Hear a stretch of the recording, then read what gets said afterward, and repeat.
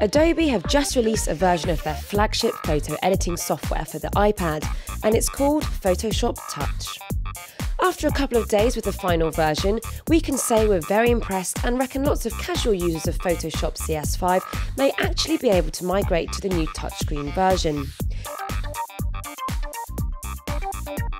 Here's 5 things you need to know about Photoshop Touch for iPad. Like the full version, it has layers. You have a fully implemented layer system which works much the same way as CS5, including blending and opacity options.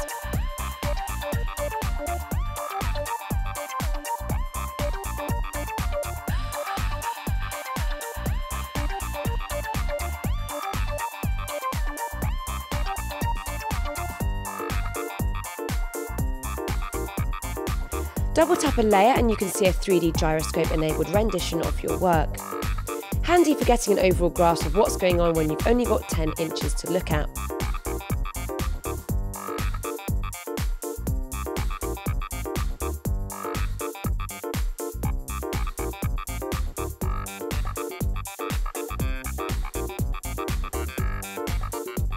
One of the relatively late features to arrive on the desktop version was Warp.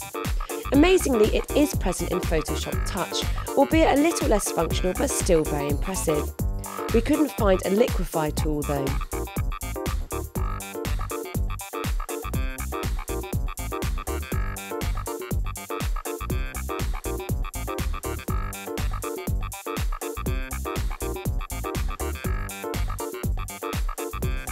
The most powerful feature of Photoshop to a professional photographer has always been its super accurate level and curve tools. Both present in the touch version and definitely not to be sniffed at. In our test, the curves accepted 11 points of change per channel. Channels are split into red, green, blue and all.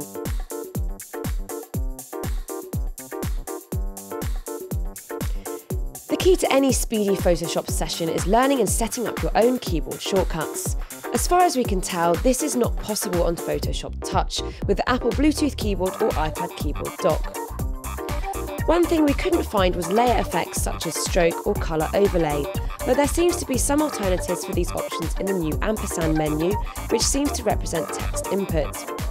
You also can't group layers into folders, so highly complex projects might be a bit of an issue.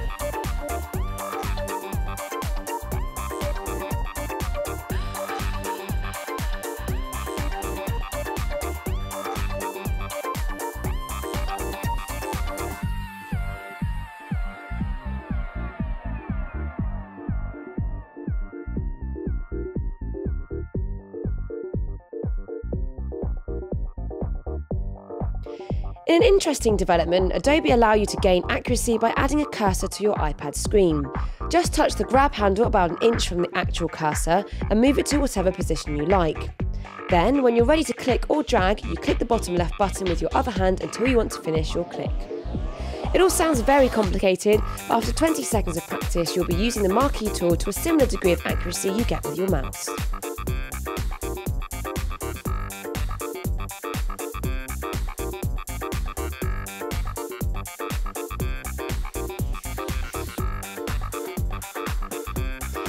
There's our overview of the new Photoshop for iPad.